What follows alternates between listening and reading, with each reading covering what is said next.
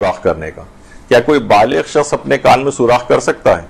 यानी औरतों के लिए तो ज़ाहिर है कि वो कर ही सकती हैं, क्योंकि वो अपने जेवरात वगैरह भी उनको पहन, पहनने होते हैं। लेकिन मसलन अगर कोई मर्द है, वो अपने कान में अगर सुराख कर रहा है तो कान में सुराख करने की तो इजाज़त है। अलबत् क्या बालिग मर्द के कान में बाली पहन पहन सकता है? जैसे अक्सर अफराद कान में बाली पहने हुए जो है वो आपको नज़र आते हैं। ओलमा भी इस चीज़ को बयान करते हैं। मसलन कोई कान में टॉप्स डाले हुए है, कोई कान में बाली पहने हुए है, वगैरह। तो इस तरह की जो चीज़ें हैं, क्या इसकी जो है वो इजाज़त है इस्लाम के अंदर? कि कोई इस तरह की कोई कान के अंदर बाली पहने कोई मर्द? तो आगा सिस्तानी फरमाते हैं कि एहतियात वाजिब ये है कि सोने की, नहीं कहते, फरमाते हैं मेरा फतवा ये है कि सोने की बाली तो पहनना हराम है। फतवे की बिना पर।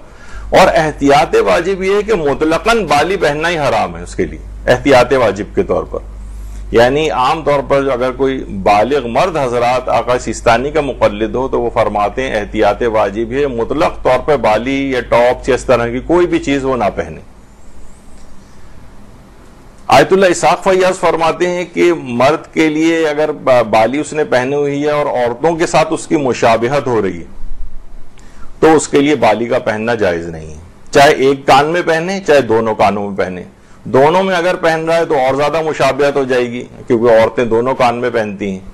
अब कोई कहे कि मैंने मन्नती बाली पहनी हुई है या फला इस तरह से तो आकाशिस्तानी का आपने सुना कि वह एहतियात वाजिब के तौर पर इसको जायज़ नहीं समझते। हैं और आयतुल्ला इसाक फैयाज कहते हैं चाहे एक बाली पहने या दोनों पहने आ, अगर औरतों से मुशाबियत हो रही है तो वो नहीं पहन सकता है। और आयतुल्ला हाफिज बशीर नजफी फरमाते हैं कि बहरहाल सोने की बाली तो पहनना हराम है और बहरहाल एहतियात करे वो भी तो अच्छा है इस मसले में। अच्छा कोई बालिग लड़की किसी मर्द से जाकर कान छिदवा सकती है? मसन अक्सर खातन सोनार वगैरह के पास जाके उससे कान छिदवा रही होती हैं। तो अगर चल, आगे चलकर हम तफसील इसकी बताएँगे। लेकिन बहरहाल ये कि कोई भी बालिग लड़की किसी मर्द से कान नहीं छिदवा सकती। जायज़ नहीं है उसके लिए। क्यों नहीं जायज़? वो भी आगे चलकर आएगा।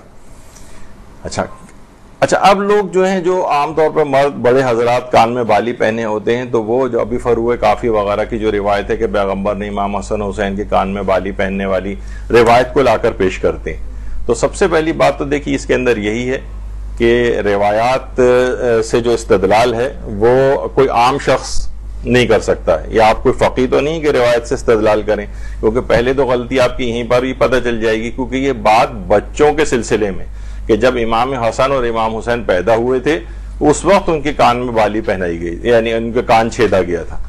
तो बहरहाल ये कि ये इससे इस्तदलाल करके आप कहें कि बालिग मर्द भी ऐसा काम कर सकता है तो ये सही नहीं है, क्योंकि उसके अंदर उनके बचपने के ज़माने का जब वो जिस वक्त वो पैदाइश उनकी हुई थी, उस वक्त वो चीज़, उस चीज़ का हुक्म आया था। लेकिन ये कि बड़े और बालिग फर्द के लिए अभी आपने सुना कि एहतियात वाजिब आगा सिस्तानी की है कि वो इस सिलसिले मना करते हैं तो लोग इस रिवायत से गलत इस्तदलाल करते हैं। अलबत्ता देखिए, कान जो छिदवाने का मसला है, इसमें कुछ